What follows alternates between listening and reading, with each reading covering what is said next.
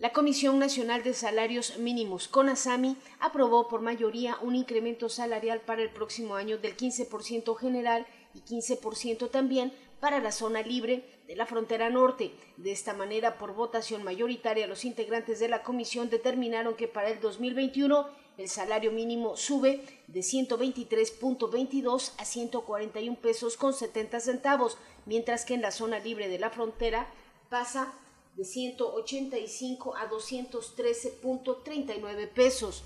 Con este aumento, México remonta ocho posiciones a nivel internacional. En cuanto al salario mínimo, colocándose en el lugar 76 de 135 países. La aspiración en la presente administración es alcanzar una posición entre los primeros 60 países con mayores percepciones salariales.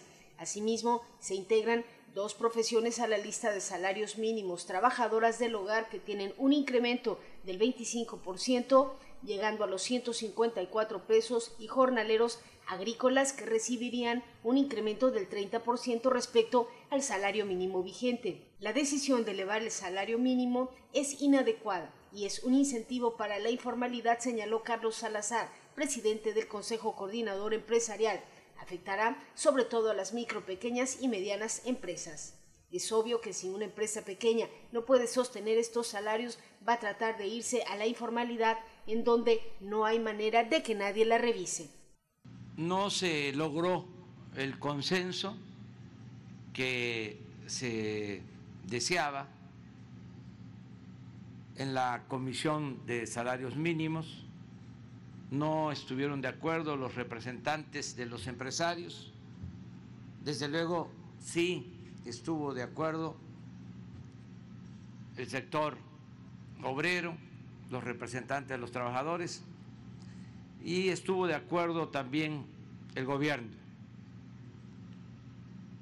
En esta ocasión no hubo consenso de las tres partes sin embargo, eh, no fueron muchas las diferencias, sí se eh, planteó un ofrecimiento de incremento por parte del sector empresarial y los integrantes de la comisión consideraron que no era suficiente. Es que se debe de tener presente se debe de tener en cuenta que el salario en México se desplomó durante el periodo neoliberal. Es de los salarios más bajos del mundo. Entonces, necesitamos, es urgente recuperar la capacidad de compra del salario mínimo.